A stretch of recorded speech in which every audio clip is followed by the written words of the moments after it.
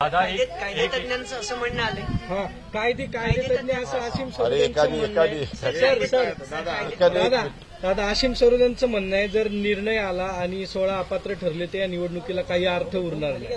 कुठल्या निवडणुकीला? या या पोट का? निवडणुकीला इथे सगळं अपात्र ठरले तर राष्ट्रपती राजवट लागू शकते.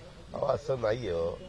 असं म्हणू नका. उद्याच्याला कुणी अपात्र ठरलं आणि दुसऱ्या कुणी क्लेम केला की आमच्याकडे वन फॉर्टी फाय बहुमत आहे आम्हाला सत्ता स्थापन करायचा परवानगी द्या. तर तो राज्यपाल कुणी असले तरी त्यांना तो चान्स द्यावाच लागेल. ज्यावेळेस त्रिशंकू अवस्था निर्माण होते त्यावेळेस असे प्रसंग उ- ओढवतात बाबा असं काही उत्सुक काही तुम्हाला आम्हाला उद्योग नाही का उठसूट निवडणुकीला सामोरं जायला? त्याच्यावर ते तज्ज्ञ आहेत ते वकील आहेत त्यांनी लॉचा अभ्यास केलेला आहे कायद्याचा अभ्यास केलेला आहे. त्याबद्दल मला काही आक्षेपार्ह विधान करायचं नाही.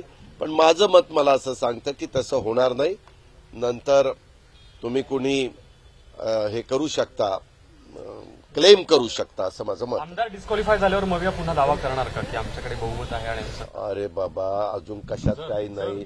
जर तरला अजित पवार उत्तर देत नसतो